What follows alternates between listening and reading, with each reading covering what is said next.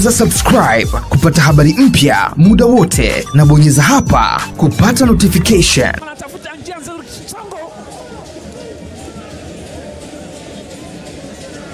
kasukuma Hussein Lefri Shafi Lantu sema kaka ametumia nguvu sana mpinzani wake.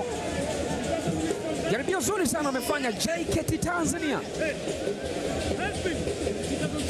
Anwari Kilemile yule kwenda alimsukuma Zimbwe Junior kwamba nipishe pisha nzuri anafanya mambo yamekwiva sasa. Manuel Okwi chini, refri anasema ni free kick. Okwi amefyum kweli kweli, kwambia mara ya pili unafanya makosa. Emmanuel Kalimele, kadi ya njano, kwambia mara ya pili sikubali. Refri anampa au anamwonyesha kadi ya njano. Emmanuel Okwi aliwekwa chini na Kilemile gusa mpira ule, anawekewa sasa. Emmanuel Okwi akiwa pembeni, mwamuzi anasema ni fao karibu kabisa na mstari ule wa penalty area, eneo la hatari. Alikuwa amecontrol Okwi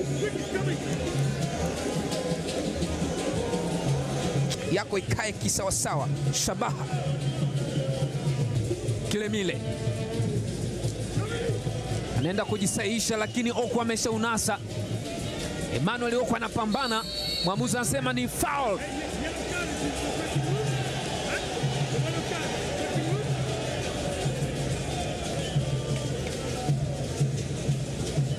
Alikuwa anaenda ni yule yule Anuari Kilemile. Sa Rashidi Juma anajaribu kumwacha yule, anawekwa chini. Patrick Osems anaonekana kumaindi sana. Anuari Kilemile aliamua kumtua chini, kwanja Lindi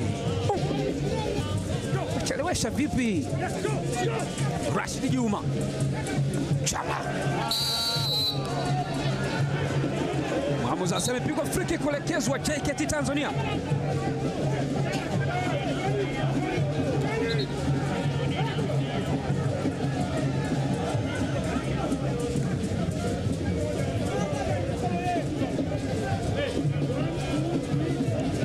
Maelekezo muhimu kutoka kwa referee kadi ya pili ya njano, red card.